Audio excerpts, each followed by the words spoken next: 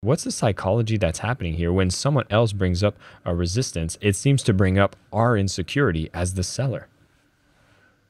Well, because what you're wanting, if you're entering that room, most people are wanting a sale. And so the second that you're met with resistance, you feel like you're further away from that which you want, right? And all the things that getting that sale will get you.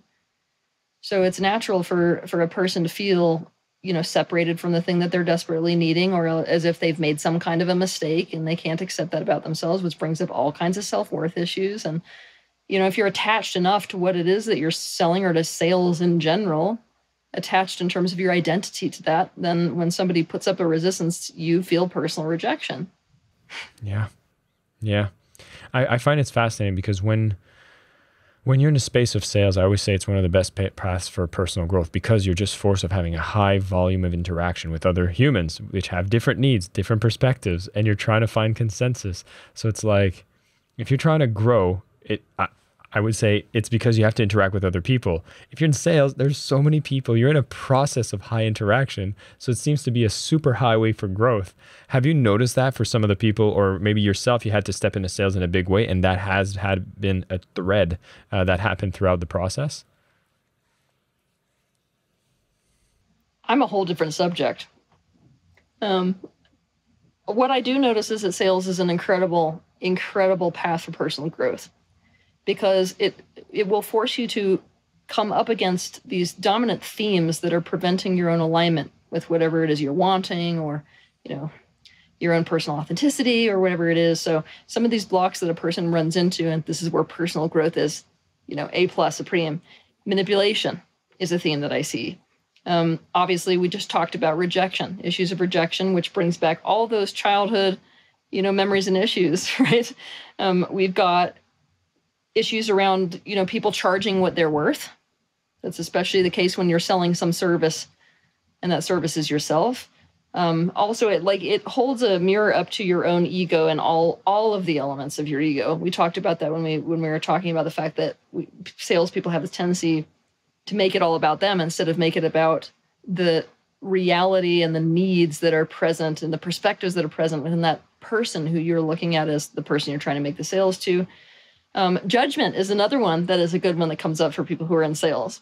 You know, because when somebody's humming and hawing around making a decision that they obviously should make from your perspective, and they're just, it's really easy to just fall into judgment of the other person. And then it throws a wall up, and then you're not going to get anywhere with them. Also, um, planning, right? A lot of people have a very hard time planning things out, and it it is so difficult to make a sale when you haven't planned things out but I find a lot of people are really, really resistant to that. Um, another thing that I notice in terms of personal growth is this attachment to a specific outcome. So uh, in sales, you get a lot more addiction to the how of it. You know, the how for what I want is that I'm going to make this person buy this thing. you know, um, and the universe loves to be like, oh, really? We have an attachment to an outcome, right? Another issue that I, I notice or blockage that I, I notice is people not being willing to be adaptive. I notice that people who are in sales like to get into a rut, right? And sales brings this huge opportunity with it for people to have to be incredibly adaptive. And like you said, meeting all kinds of people from all different walks of life forces you into an adaptation which is, you know, impressive. Another blockage that I notice is is blaming others, right? When you go to make a sale and it doesn't go the way that you want to make it, it's tempting to want to blame the other person, maybe their mental blocks, maybe to you know blame the circumstance, maybe to blame. I mean, there's a million things you could blame instead of looking at oneself and how one is, you know, maybe in the way of their own uh, desire process around their uh, job or career. Also, and that and this one I'm really interested in, is that in terms of growth and sales, there is this absolute necessity to be present with the person who you're trying to make a sales to. So anybody who has an issue around being present or has an issue around helping somebody to gain clarity and really helping them through that whole process of resolving resistance and of welcoming whatever change that sale is going to bring in for them, they don't do so well with sales.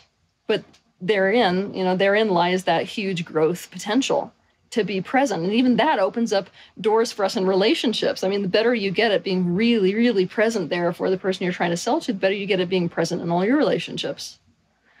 And again, it's like bringing yourself out of the narcissism back to the other person, back to the other person, back to the other person. Yeah.